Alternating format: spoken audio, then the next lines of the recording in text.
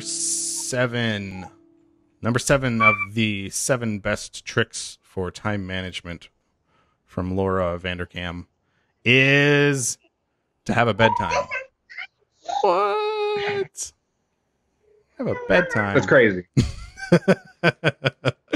that is crazy. That bedtime. That's like that's for kids. if that.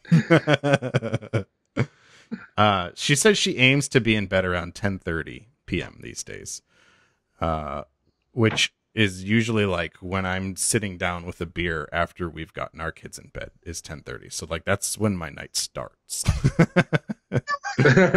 um, exactly. She says she feels so much better in the morning when she gets enough sleep.